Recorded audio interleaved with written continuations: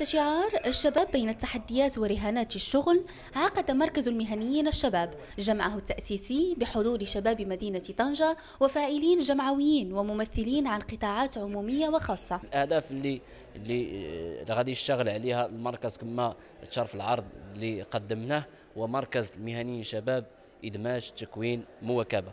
ثلاثة ديال ديال ديال الكلمات خرجنا منهم بزاف ديال الأهداف اللي هي كتضع الهدف من الأهداف اللي حاطينها المساهمة في المستوى الثقافي والمهني للشباب. كذلك المساهمة في التشغيل الذاتي للشباب المساهمة في الإدماج في قطاع الشغل مع الشركاء الآخرين المساهمة في التوجيه الجيد. بالنسبة للمشاركة ديالنا لأنه مشاركة ديال ديال الشباب المهنيين وحنا راه مكتب التكوين المهني فزيادة على هذا أننا كيهمنا الشباب وكتهمنا المهنة.